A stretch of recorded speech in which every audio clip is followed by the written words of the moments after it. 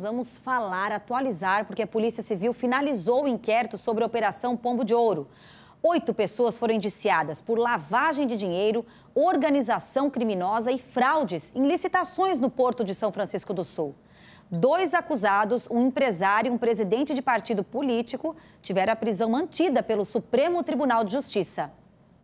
Mais duas pessoas foram indiciadas pela Polícia Civil por participação em fraudes em contratos com o Porto de São Francisco do Sul. Uma delas é Daniele Balsanelli Mafra, de Jaraguá do Sul, secretária e sócia da empresa CRP Comércio de Papel e Transportes, de Cristiano Painstein.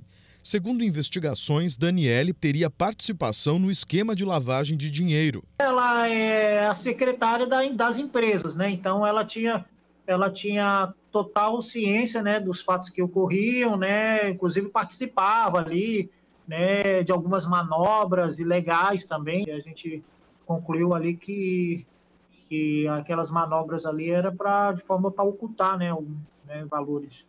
Também foi indiciado pela Polícia Civil Rafael de Oliveira Ferreira, gerente da CRP em Uruguaiana, no Rio Grande do Sul. No mês passado, ele chegou a ser preso por posse ilegal de arma de fogo com numeração raspada, mas depois foi liberado. E o Rafael, ele era operador ali no Rio Grande do Sul, né? Da quadrilha. Ele fazia o contato ali, né, do, né, junto à prefeitura. Os outros seis suspeitos já foram denunciados pelo Ministério Público na semana passada.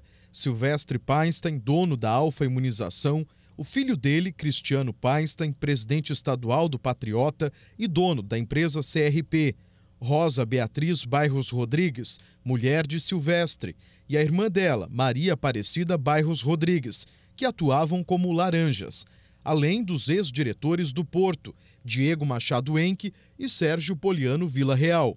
Segundo o delegado, as empresas Alfa e CRP foram criadas exclusivamente para obter contratos públicos. Em 2018 já, já havia uma, uma irregularidade, porque essa empresa ali não prestava serviço para ninguém. Aí depois constatamos que não tem nem sede é, aonde ela informa que, que, que, que é sediada, que é uruguaiana. Durante as investigações foram constatados os crimes de lavagem de dinheiro, organização criminosa, Caixa 2 e fraudes em licitações.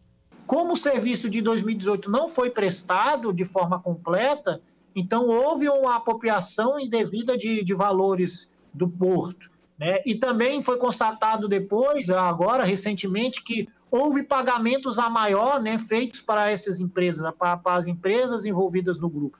Então, houve cerca de 500 mil reais a mais ali pagos indevidamente para esse grupo. Silvestre e Cristiano Painstein estão presos há quase um mês Nesta terça-feira, o Superior Tribunal de Justiça negou o pedido de habeas corpus impetrado pela defesa e manteve a prisão dos dois. As investigações continuam para identificar a participação de outras pessoas nos crimes e, de acordo com o delegado, novos depoimentos serão colhidos nos próximos dias. Nós tentamos contato com todas as pessoas citadas na reportagem, mas até o momento não tivemos resposta.